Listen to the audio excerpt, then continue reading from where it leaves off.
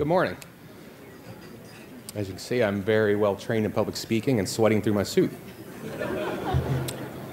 Um, so first, I want to thank Wayne and his entire team for partnering with us. It's been a great connection for us to reach out to organizations that can provide opportunity for us and for us to provide opportunity for them. Secondly, I would like to thank the entire GBMC healthcare system for not just supporting a diversity program, but promoting it. Um, it's a team effort from everybody, so this clearly is not just me or my direct team, it's the entire healthcare organization.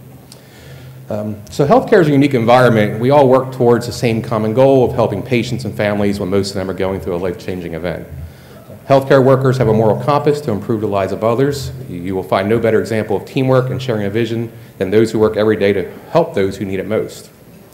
When GBMC and the MWMCA collaborated, we had two goals. We want to provide an opportunity to minority business community and to ensure with those opportunities we share a common vision and impact and recognize the, what we have on each other. When healthcare providers partner with any company, regardless of the service provided, it is important for those companies to understand the patient impact in the healthcare environment. So I brought along a video. Yes, I cheated to buy me some time. Um, this video is from the Cleveland Clinic. It shows the compassion and empathy that everybody has on each other and to put each other in somebody else's shoes for a day to understand what it's like in a healthcare environment.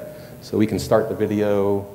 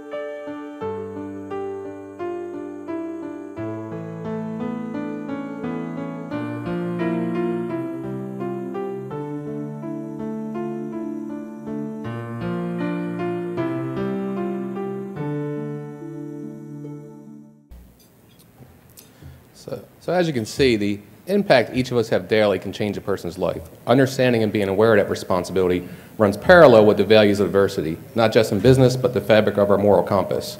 This is one of the many reasons our partnership with the MWMCA has been so successful. Both our organizations take on the responsibility to understand, listen, and help others for no other reason than it is the right thing to do.